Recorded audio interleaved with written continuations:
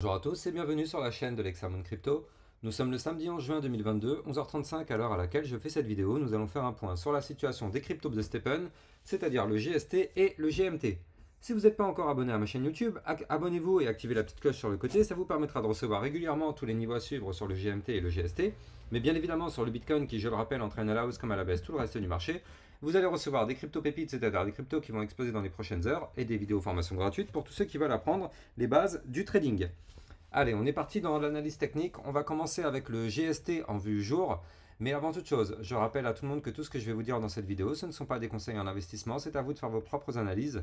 Et n'oubliez pas que quand vous prenez des trades, vous pouvez perdre l'intégralité de votre mise. Alors, le GST, qu'est-ce qu'il nous fait? Donc là, bon, il n'y a pas de surprise, hein, regardez, je reprends un peu l'historique. Voilà. Le GST, depuis le 4 mai 2022, il fait que cracher. Et pourquoi il fait que cracher depuis ce moment-là? Regardez. Ici, on avait fait une très belle figure en double top. Premier sommet, deuxième sommet. Donc là, ça y est, on avait trouvé le sommet de marché. Le sommet du marché, il était ici. 6,6177. Ça, c'était le top. Donc on a fait un double top pour valider le fait qu'on n'avait pas plus haut. Double top, figure chartiste de retournement BCR. Qu'est-ce qui s'est passé depuis ce double top? On a fait que cracher. Et regardez, on a fait des crashs vraiment techniquement plutôt propres. Hein. C'est-à-dire que là, en fait, on avait cassé un ancien range. Donc quand on casse un range, on va chercher le bas du range. Puis derrière, on a craché. On a fait un nouveau range, vous le voyez ici, donc une consolidation, pour mieux cracher. Et donc là, c'est exactement ça. Hein. Consolidation, crash, consolidation, crash. Là, actuellement, on est en train de former une figure en triangle de compression. Donc là, vous le voyez, ce triangle, je vous l'ai dessiné en orange. Il faut savoir qu'un triangle de compression, c'est une figure chartiste de prolongation du mouvement. Or, nous, le mouvement entrant, c'est un mouvement qui est baissier. Donc statistiquement, on devrait avoir un mouvement baissier qui arrive aussi. Parce qu'on fait que prolonger le mouvement entrant. Donc euh, c'est là où il va falloir vraiment être très, euh, bah, très très au taquet. Parce que là, effectivement, si vous voulez savoir si vous devez garder vos GST ou qu'est-ce que vous voulez faire avec vos, GST, bah, il faut savoir en tout cas que là, si on break le niveau qui est ici, 0,4521 en centimes de dollars, si on break ce niveau-là, bah, préparez-vous, hein, le GST risque de cracher encore. On va cracher pour aller chercher ici euh, des points beaucoup plus bas. Donc méfiez-vous. En tout cas, le GST, malheureusement, là, il est dans une configuration baissière. Tant qu'on n'a pas fait une figure chartiste de retournement haussière, c'est-à-dire que tant qu'on n'a pas fait une figure comme ceci, en W, ne vous attendez pas à ce qu'on ait un pump. Le GST va continuer inlassablement de cracher jusqu'à ce qu'on fasse ce type de pattern. Donc là, vous le voyez, ici, on est dans un triangle de compression. On est avec un mouvement entrant qui est baissier. Vous le voyez ici, hein, mouvement entrant baissier, triangle de compression. Donc là, il y a quand même 70% de chances que la sortie, la résolution de ce triangle de compression se fasse à la baisse plutôt qu'à la hausse. Il y a quand même 30% de chances que ce soit à la hausse, 70% de chances que ça se fasse à la baisse. Donc méfiez-vous vraiment de ces niveaux-là. Je rappelle le niveau 0,4573. D'ailleurs, on va se dessiner une petite ligne. On peut même se mettre une petite alerte. 45, 73. Voilà, tac. Ça signifie que là, quand on cassera, si jamais on casse ce niveau, par le bas, ce sera un joli signal de vente pour cracher. Par contre, à contrario, je vous ai dit qu'il y a quand même 30% de chances qu'on break par le haut. Donc, si on break par le haut, ça se fera ici, au 0,6054. Et même pour entamer une petite phase haussière, je dis bien une petite phase haussière, ne pensez pas qu'on va regagner, on va retourner à 6 dollars tout de suite, non. Mais si on veut reprendre une toute petite phase haussière, il faut qu'on arrive à break ici les 0,6936. Si on break ce niveau-là, effectivement, on pourra pourquoi pas reprendre une petite phase haussière, une petite, hein, euh, et, voir jusqu'où ça pourra nous mener. En tout cas, si jamais on se met à pump, on ira chercher ici les 0,75 dollars, puis après ici les 1,02 centimes, voire même, pourquoi pas, les 1,20 dollars. Ça, c'est si jamais on arrive à break le triangle de compression par le haut. Mais je le rappelle, 30% de chance que ce soit break par le haut, 70% de chance que ce soit break par le bas. Surtout que regardez, pour l'instant, on est loin, très loin du ruban de moyenne mobile et du milieu des bandes de Bollinger. Là, vous les voyez, les bandes de Bollinger, regardez, je vais vous les faire clignoter. Voilà, elles sont là. Tac, ça, c'est les bandes de Bollinger. Donc là, pour l'instant, on voit quand même qu'on est plutôt vers le bas des bandes de Bollinger. Donc méfiance. Et on voit aussi qu'on est loin du milieu des bandes de Bollinger et du ruban de moyenne mobile. Donc, à un moment donné, le ruban de moyenne mobile, ça agit comme un aimant. Donc au bout d'un moment, il y a quand même fort à parier que le cours aille se rapprocher le plus possible du ruban de moyenne mobile. Donc c'est pour ça quand même que peut-être dans les prochains jours, on pourrait avoir droit à un petit pump, sauf si on continue de cracher. Le ruban de moyenne mobile va continuer de cracher avec. C'est lié, hein. si on continue de cracher, le ruban il va faire quelque chose comme ceci. Voilà, il va cracher, alors qu'en parallèle, le cours va continuer de cracher comme ceci. Donc ça veut dire que voilà, si là le cours crache, on va jamais se rapprocher du ruban de moyenne mobile, on va rester un peu éloigné comme ce qu'on est là. Maintenant, si jamais on arrive à pump un petit peu, il est possible qu'on aille rechercher les 1,30 centimes dans les prochaines semaines, peut-être prochains jours, prochaines semaines, mais ça, pour ça, vous l'avez compris, il n'y a pas d'autre choix que de break par le haut ce triangle de compression et on a 30% de chances que ça se réalise. Donc, euh, et vous le savez aussi, hein, tout c'est le Bitcoin. Quand le Bitcoin crash, tout crash. Donc euh, pour l'instant, le Bitcoin n'est pas au top de sa forme. Donc vous l'avez compris, tant que le Bitcoin ne reprend pas une phase haussière, tout le marché ne reprendra pas une phase haussière. Tout est indexé, tout est lié au Bitcoin. Donc euh, voilà, il n'y a pas de surprise réellement quoi.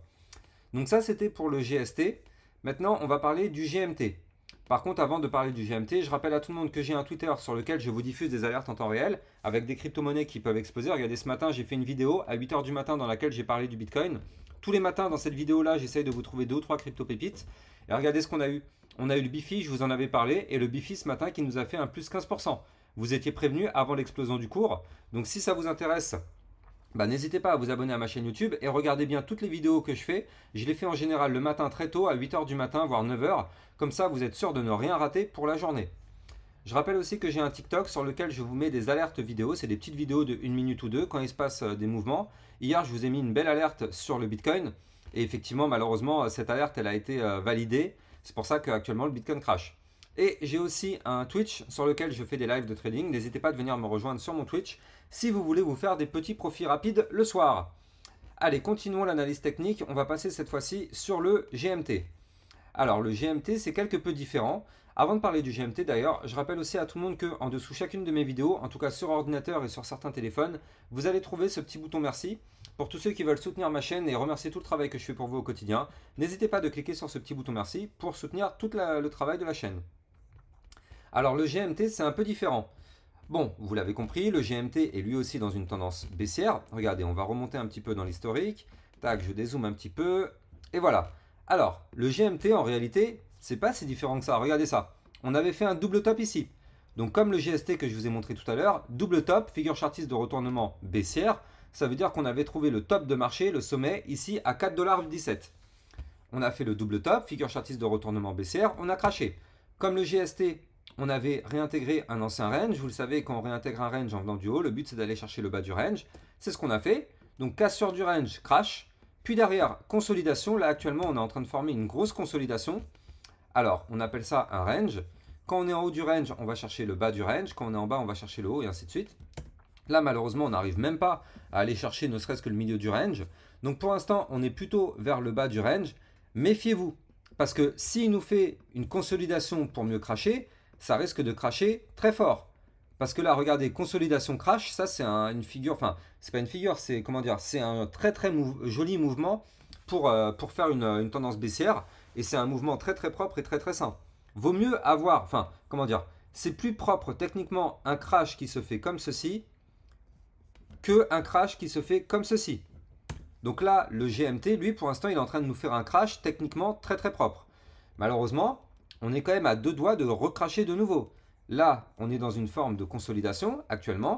Donc ce range, si on break le bas du range aujourd'hui, à 2h du matin, les 0,88935, attention, ce sera un signal de vente. Pour cracher, si on crache, on ira chercher ici les 0,84, puis ici les 0,69200, voire même des points plus bas. Surtout que, regardez, sur le GMT, on a des bandes de Bollinger qui sont ultra resserrées. Regardez comme elles sont hyper fines ça c'est annonciateur d'un énorme mouvement. Alors, pas forcément par le haut, pas forcément par le bas, ça veut juste dire qu'il y a un énorme mouvement qui va arriver. Donc là, le GMT, méfiance, parce que vu que là, on est plutôt vers le bas du range, si on break le bas du range, eh ben, ce sera un énorme mouvement, mais cette fois-ci par le bas.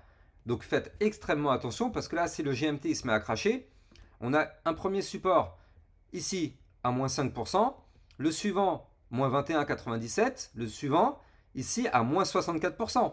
Je ne sais pas si vous vous rendez compte, mais attention sur le GMT si on break le bas du range. Par contre, il faut savoir quand même que le bas du range, c'est une zone de support. Donc je vous redonne le niveau. 0,88874, c'est une zone de support. Donc on peut très bien rebondir sur le support, comme ce qui s'est passé là. Hein. toute cette zone-là, on a rebondi sur le support. On peut très bien rebondir sur le support. Puis derrière, on casse le dernier plus haut, c'est-à-dire ici les 0,99, 118. Et dans ce cas-là, on peut reprendre une petite tendance haussière. On aura une résistance ici à 1,1313. Si on break cette résistance, on aura une autre résistance ici à 1,24 Et si on arrive à faire ça, ça nous formera une figure chartiste en double bottom, comme ceci. Double bottom, figure chartiste de retournement haussière. Si on break la ligne de coup, c'est-à-dire la ligne de coup qui sera là 1,24638, ça pourra pump pour aller chercher ici le haut du range au 1,65. Mais bien évidemment, encore une fois, tout ça est entièrement dépendant du Bitcoin. Si le Bitcoin se met à cracher, vous allez voir que directement à la seconde près, le GMT va se mettre à cracher. Si le Bitcoin se met à pump, vous allez voir qu'à la seconde près, le GMT va se mettre à pump lui aussi. Donc tout est lié au Bitcoin. Donc il faut bien évidemment surveiller le Bitcoin. C'est pour ça que moi, tous les matins, je vous fais une vidéo entre 8h et 10h du matin pour vous faire une analyse complète du Bitcoin. Comme ça, ça vous permet de savoir sur la journée si le cours va être plutôt baissier ou haussier. Ça vous permet de savoir qu'est-ce que vous allez faire avec vos gains de Stepen que vous allez réaliser tous les jours. Je rappelle, Stepen, ça vous permet de courir et de gagner des gains, euh, des gains en tokens, donc les deux fameux tokens que je viens de vous analyser. Donc si le Bitcoin crash, les tokens vont crasher aussi. Donc ça vous permet de savoir si vous pouvez les convertir ou si vous voulez quand même les garder au risque que ça chute. Voilà, j'espère que vous avez kiffé cette vidéo. Si c'est le cas, n'hésitez pas à vous abonner à la chaîne YouTube, activer la petite cloche. Likez et commentez les vidéos, ça participe au référencement de la chaîne. N'hésitez pas à cliquer sur ce petit bouton merci pour remercier tout le travail que je fais pour vous au quotidien. Et suivez-moi sur mes réseaux sociaux, donc Twitter pour les alertes texte, TikTok pour les alertes vidéo et Twitch pour les lives de trading. Allez, je vous souhaite à tous de passer une bonne journée et je vous dis à très bientôt pour une prochaine vidéo sur le GMT et le GMT, les deux cryptos de Stephen. Ciao, ciao